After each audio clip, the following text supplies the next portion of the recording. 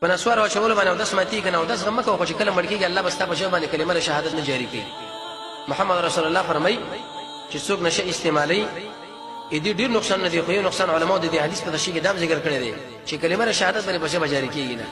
نور دغه خو نسوار خو لورس دا او داس خو لورس خبره ده دا خبره غم کوا لری کا ګنده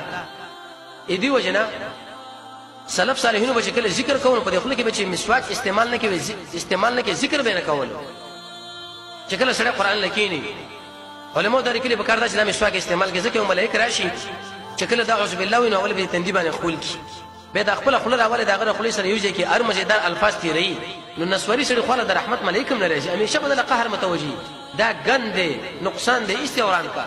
رسول الله فرمایي چې ارنه شي شي حرام دی چه کله یو سړی د نسوارو سره عادت نه وي ته دا ور واچوه په هغه به یې نشه راولي که نه یې راولي بس د رسول الله دې خبرې د وجې نه ټول په همدې باندې راضي شو وفا وکړو کلک وعده ورسره وکړو چې موږ به دا پرېږدو پرېږدو به که به نه پرېږدو بس د الله د رضا لپاره دا پرېږدی